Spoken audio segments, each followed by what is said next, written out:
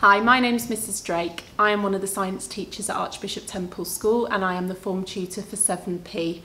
As your form tutor, it's my job to help guide and support you in your first year at Archbishop Temple School. I'm really looking forward to meeting you all at transition, being your tutor in September. And we've got lots of fun activities for you to do in the 30 minutes that we'll spend in tutor time each morning.